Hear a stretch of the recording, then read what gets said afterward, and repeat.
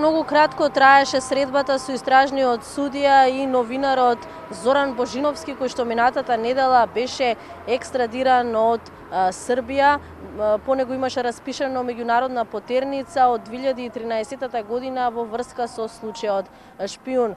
Според моите информации кои што доаѓаат од неговиот бранител, ама и од кривичниот суд е дека Зоран Божиновски денеска не бил подготвен да даде исказ пред истражниот судија за делата за кои што се товари, се товари за три кривични дела во врска со случајот шпион и тоа злосторничко здружување лагање, шпионажа и уцена.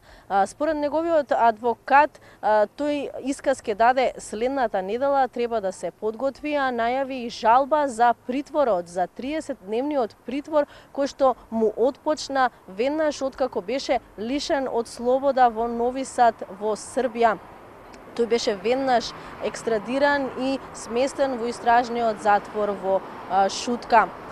Зоран Божиновски еднаш беше веќе уапсен во 2013 година од страна на српските власти, меѓутоа тој успеа да извади и српски, српско државјанство, па по неколку месечниот притвор тој не беше екстрадиран во на македонските власти. Значи ова е втор и успешен обид тој да биде вратен во матичната земја, каде што треба да му се суди за обвинението во случајот шпион.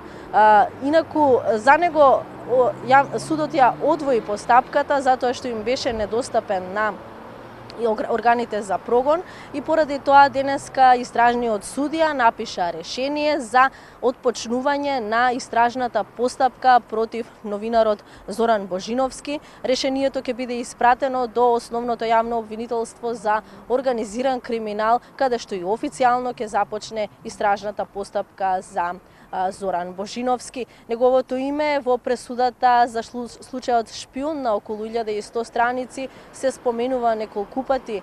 Тоа е поврзано не само со прво осомничените, поврзано е и со поранешниот директор осуден во истиот случај Ванет Светанов од Агенцијата за перење на пари, а исто така се поврзува и со неколку бизнисмени заради основаното сомнение дека им вршел уцена.